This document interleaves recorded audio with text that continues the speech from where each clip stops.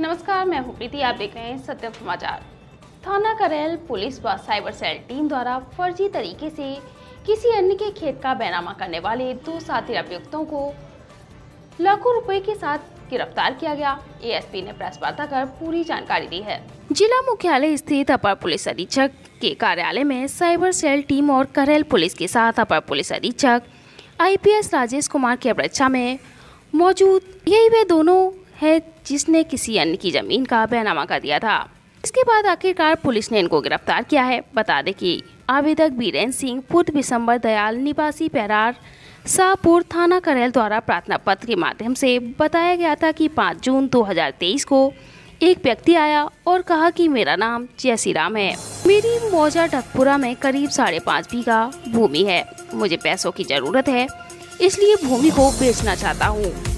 पीड़ित द्वारा खेत व खतौनी दिखाने को कहा गया तो वह खेत पर ले गया और अगले दिन खतौनी दिखाई, जो मौजा ढकपुरा के खाता संख्या 127 गाटा संख्या, छह सौ छियासठ बटे ज़ीरो पॉइंट चार चार ज़ीरो है।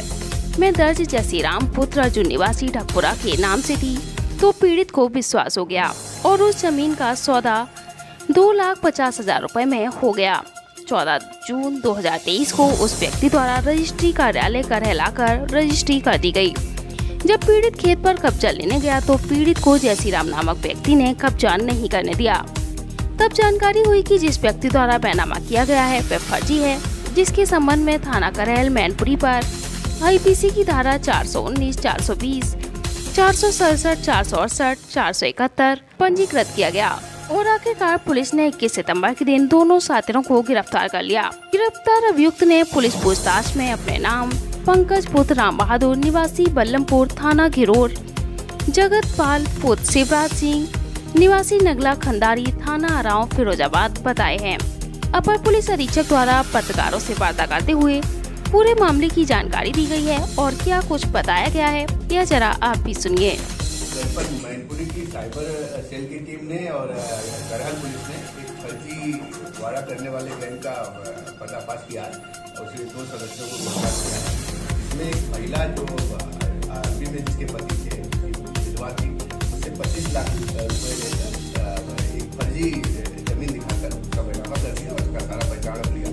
जब उस ज़मीन को कब्जे में लेने कब्जा लेने गई तो पता लगा वो ज़मीन जिन्होंने उसको बेचा है उसकी ही नहीं। इस आधार पे दर्ज किया गया। उसमें से जो दो लोग इसमें शामिल रहे फर्जी वाले में जिन्होंने ये चिटिंग की है, उनको गिरफ़्तार किया गया है। और एक उनके पास से करीब छः लाख रुपया बरामद हुआ है और नौ लाख रुपये जो उनके खाते में थे वो भी उसको सीज किया गया है। एक गाड़ी बरामद हुई है।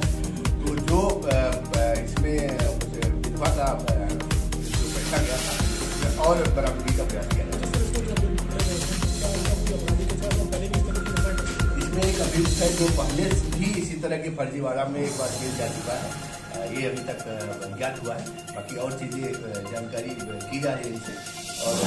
और बरामद बरामदगी का